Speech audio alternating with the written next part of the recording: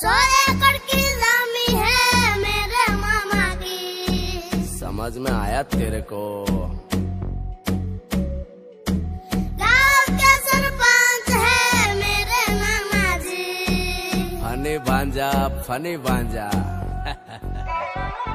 सौ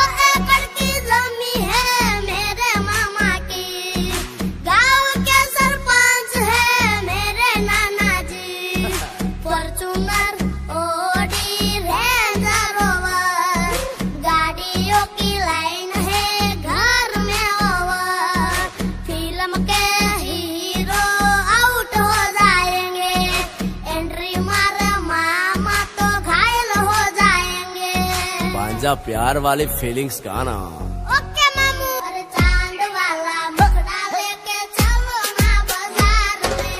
चाँद वाला मुखड़ा लेके चलो ना बाज़ार में। पागल प्रेमी हो गया घायल के दे प्यार में।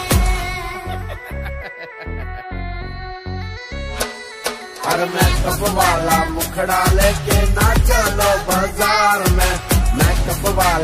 वाला लेके ना चलो बाज़ार में। एक पागल प्रेमी हो गया। में